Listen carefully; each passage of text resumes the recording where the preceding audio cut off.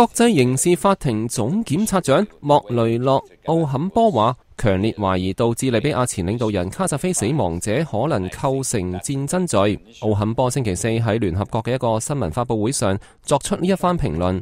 佢話，國際刑事法庭正喺度詢問利比亞臨時政府要點樣去計劃調查戰爭罪行指控，包括利比亞革命軍可能犯下嘅戰爭罪。奧坎波話。佢認為卡扎菲被打死嘅方式引起咗大眾對戰爭罪嘅懷疑。佢認為呢一個係非常重要嘅問題。卡扎菲喺今年十月份喺不明情況下被捕獲並被打死。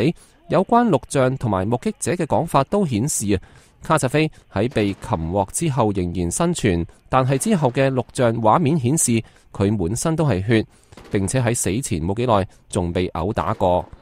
利比亞全國過渡委員會嘅領導人受到嚟自西方民國嘅強烈壓力，佢哋被要求調查卡扎菲死亡時嘅情況。